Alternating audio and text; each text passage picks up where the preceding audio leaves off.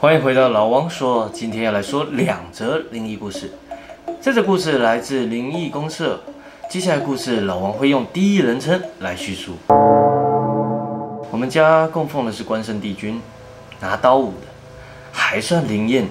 以前很铁齿，不相信这种事情，发生很多事后开始会相信。但是啊，不迷信，有颗虔诚的心。某一天，我一如往常的前往饮料店上班，摸摸手腕和脖子。哎，佛珠跟平安符出门忘了带，但心想算了吧，应该没事。平常外送总是习惯骑某一条路，那一天依然如此。但是在巷弄十字路口的时候，看到前方有商家，我却突然被挂在外面的白灯笼给吓到了。平常看见商家，我是会刻意绕路走的人，但这次我却骑过去。我侧着脸刻意避开，骑过这里的那一瞬间，我感觉有人在我的右脸方向看着我。而且是贴很近的那种感觉，我相信大家都有被人注视过，回过头却发现没有人的那种感觉。我鸡皮疙瘩瞬间起来，我立刻舌头顶门牙，默念六字真言，回向众生。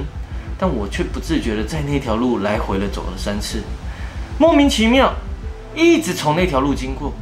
到了下午两点，我开始觉得有一点疲惫，感觉好像要感冒，但也说不出来是哪里不舒服。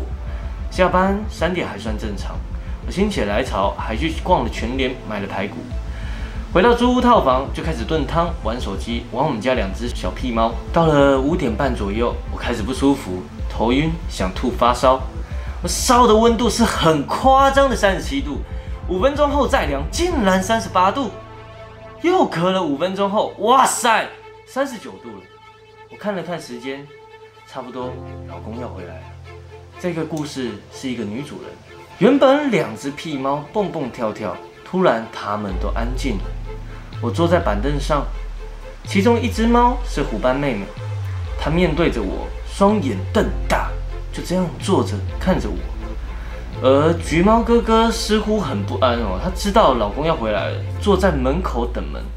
以往只要有人在家都不会等门的他，这次竟然在门边等着。这个虎斑妹妹看着我，隔没多久也畏畏缩缩的坐去旁边一起等门。我觉得越来越冷，但身体却是烫的。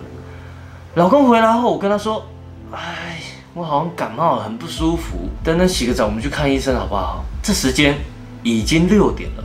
我去洗澡的时候，热水已经开到蛮烫的，可是不管怎么冲，我都觉得很冷，水感觉是冰的。哎呀！不管了，我只想赶快洗一洗，赶快用一用。洗完澡，吹好头发后，我整个瘫软在床上。老公看我这样，他就说：“不然我们休息一下，七点再出门吧。”然后我有气无力的说：“好。”就这样，我依然觉得很冷，盖了三件棉被，还是没办法让我觉得温暖。老公抱着我，我一直觉得背很冰很冷。突然，我开始翻白眼，嘴角上扬的笑，全身却抽搐了起来。头往后仰，双脚一直踢，我崩溃大哭。但是我一边在笑，老公抱着我一直骂《三字经》，他越骂我越痛苦，他越骂我抽搐的更严重。我感觉我嘴巴无法开口说话，但是我意识是清楚的。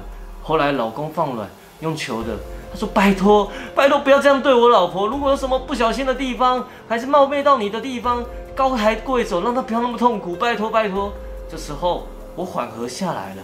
我用全身的力气喊出“回我家”，之后又崩溃大哭，一边阴笑。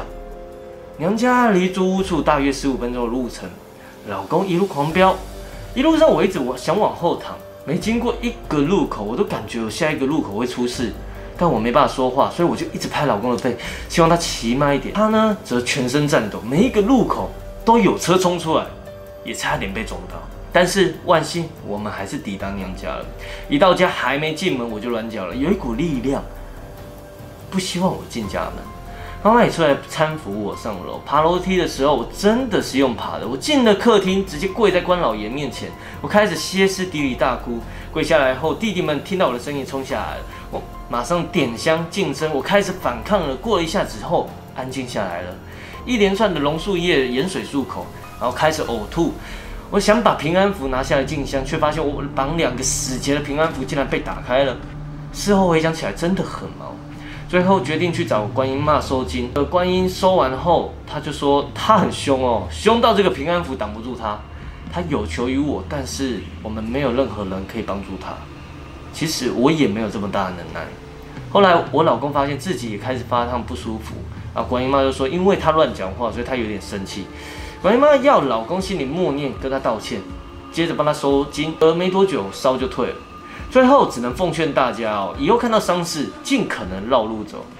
接着是网友提问，网友说怎么会有那么大的强大的力量呢？因为白灯笼是时间未到就离开的，不晓得大家知道还是不知道？就是可能他就是不愿意。再来，又有人说，哎，没有注意过灯笼颜色的问题，印象中不是丧事都白的吗？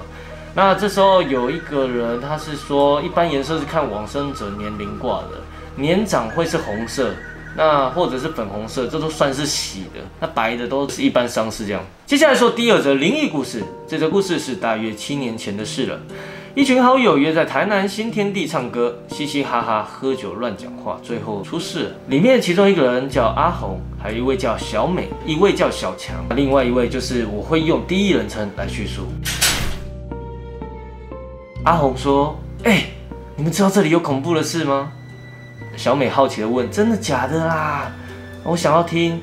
小强则害怕的说：“哎，你不要乱讲话，我们在包厢里面呢。”我当然只能劝我这些朋友：“你们刚刚好就好啦。”我很敏感，你们不要乱讲话。我现在头真的已经开始在晕了。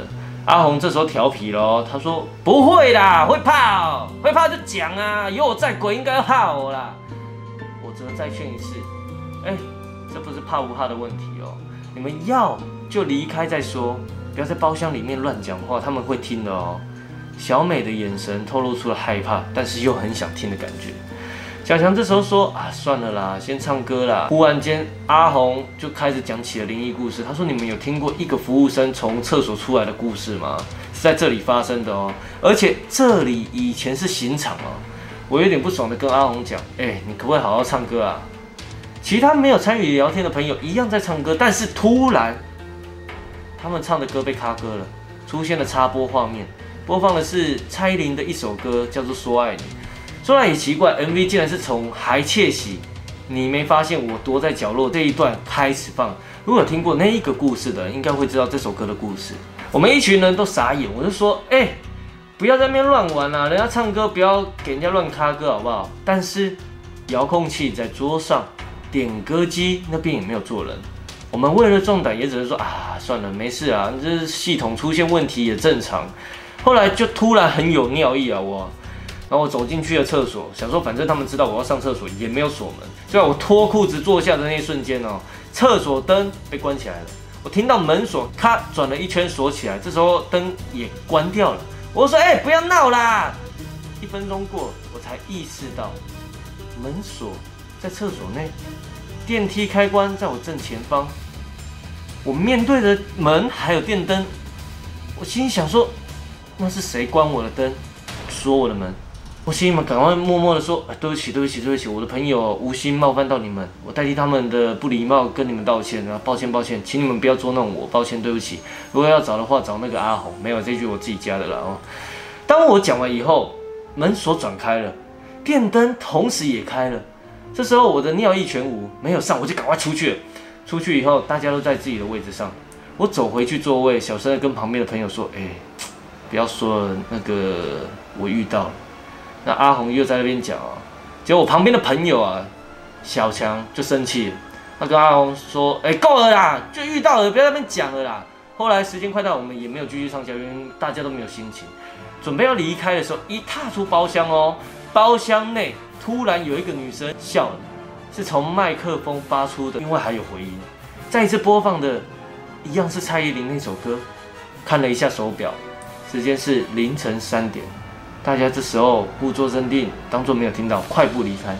离开后，大家都吓傻了，各自回家。因为有喝酒啊，所以我的机车停在后面停车场。我要去那边拿安全帽，让没有喝酒的男生朋友在。步行的过程中，我一直听到铁链的声音，但我身边真的没有人。我也不以为意的继续走。当我走到机车旁边的时候，拿了安全帽，转头那一刹那，我看到一个形体，手铐脚镣，坐在百货公司的门口。这时候朋友跑过来说：“哎，那你怎么这么久？”我抓着他小声的说：“不要转过去，走，不要问，不要转过去。”从那之后，我再也没有去过那个地方。或许真的是巧合遇见，但我真的觉得这一件事情让我超级难忘。有位网友分享，他说之前跟朋友去那边唱歌，然后卡在电梯里面，一直下不去，下不去一楼，然后电梯自己按了好几个楼层哦，打开来全部都是黑的楼层，而且还遇过两次，卡在里面大概五六分钟，不知道是电梯的问题还是什么问题。接着也有网友说，为什么这个故事跟以前西门町钱柜的故事相似度这么高？但故事的作者则是说，这个故事是他在新天地遇到的，而且就是他本人。这个女孩子哦，在厕所被关灯还被锁门的故事。这时候，老王也想分享我在 KTV 遇到的恐怖故事，就是啊，每次只要唱歌哦，都一定会有人说有事情要先走，然后就没有付钱。OK，如果想听什么内容，可以告诉我订阅老王说梗的故事，让我慢慢说。我们下次见，拜拜。